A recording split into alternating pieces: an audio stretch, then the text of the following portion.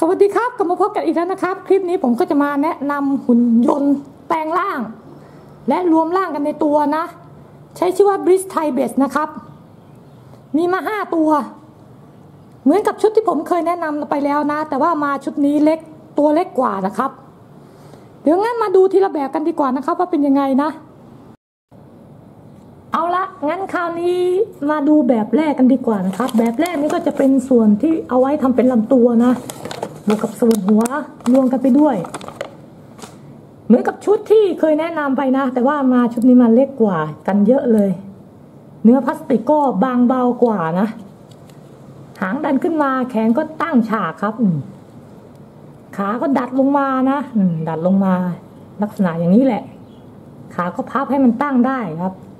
รู้สึกว่าชุดนี้มาตัวเล็ก เลยค่อนข้างจะบอบบางสักหน่อยนะครับ ได้แล้ว น่าจะเป็นมังกรสองหัวนะเนี่ย ชุดนี้ ไม่ยากหรอกนะ เหมือนกับชุดที่เคยแนะนำไปนะครับ วิธีการเดียวกันเลยอะมาดูแบบต่อไปนะ เอาละงั้นคราวนี้มาดูแบบต่อไปกันดีกว่านะครับ แบบต่อไปนี้ก็จะเป็นส่วนแขนนะ ส่วนแขนอย่างลักษณะแขนสีเขียวนี่แหละครับ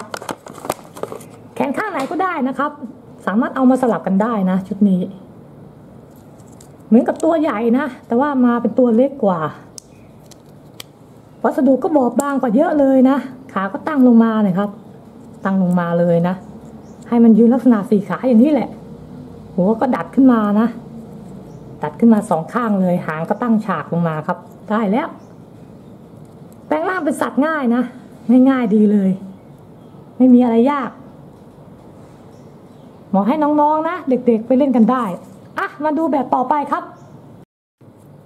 งั้นคราวนี้มาดูแบบที่สามกันบ้างนะครับ แบบที่สามนี่ก็จะเป็นนกนะ เป็นนกที่เอาไว้ทำส่วนแขนนะครับ แขนข้างไหนก็ได้นะ ชุดนี้มาตัวเล็กแต่บอกตามตรงนะว่ายากนะ ก็ที่ว่ายากเนี่ยก็วัสดุมันบอบบางกว่านะนะครับ ตัวเล็กกว่าวัสดุมันก็บอบบางกว่านะ หัวนี้ก็ยกขึ้นมานะ มันจะมีหัวนกหนึ่งครับ หมุนขึ้นมาเลยนะ อาจจะยากสักหน่อยนะตรงนี้ เพราะว่ามันบอบบางอะนะชอบหลุดนี่ครับ ดันขึ้นมาเลยนะแล้วหัวนกมันจะตั้งอย่างนี้นะครับแล้วมันไม่ได้ชูคอนะเหมือนชุดก่อน ปีกนกนี้ก็หมุนนะหมุนแล้วกางออกมาได้ครับกางออกมาได้นะ หมุนขึ้นมานะข้างนี้ก็ทำเหมือนกันครับ หมุนขึ้นมานะ แล้วก็กางออกมาครับ กางปีกออกมานะ ได้แล้ว เป็นนก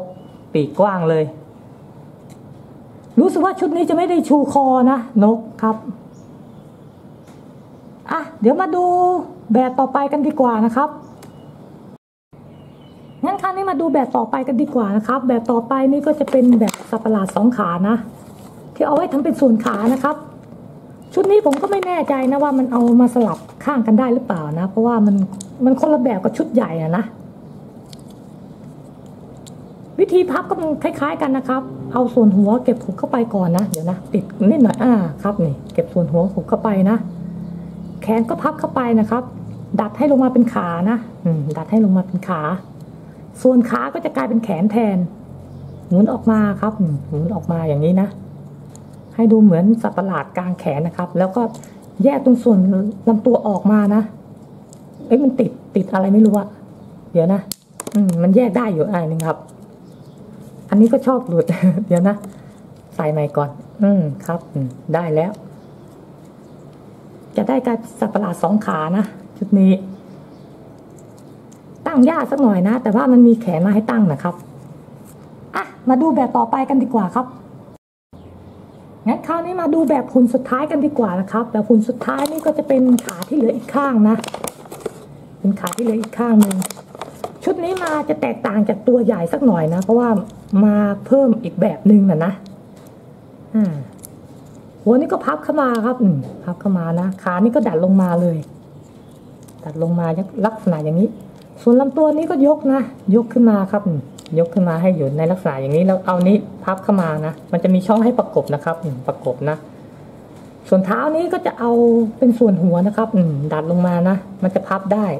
แล้วก็เอามาประกบกันจะมีข้อต่อนะครับ ประกบกันแล้วจะได้เป็นส่วนหัวแล้ว ลักษณะเหมือนหัวสิงโตนะเนี่ย แขนก็ดัดนะครับ ดัดให้มันอยู่ในลักษณะท่าทางนะ ตั้งได้ครับ มาเป็นสัตว์ประหลาดนะ ไม่รู้ตัวอะไรด้วย ชุดนี้ผมขอผ่านนะครับ ในการรวมร่างนะงั้นมาดูแบบรวมๆกันดีกว่านะครับงั้นคราวนี้เรามาดูแบบรวมๆกันนะครับ ตอนตอนแปลงร่างกันเป็นสัตว์ประหลาดเนี่ยนะครับ ส่วนสีเขียวกับสีขาวนี่ผมต้องเอามาตั้ง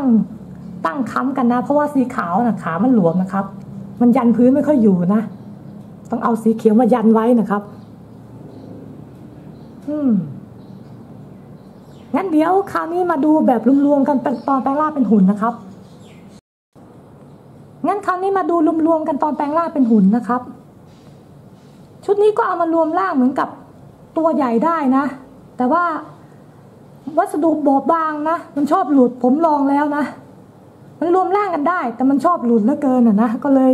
ไม่อยากทำคลิปตอนรวมร่างสักเท่าไหร่ หาซื้อตามร้านค้าทั่วไปนะครับ เป็นของเล่นแพงๆนะ คลิปหน้ากลับมาพบกันใหม่อีกนะครับ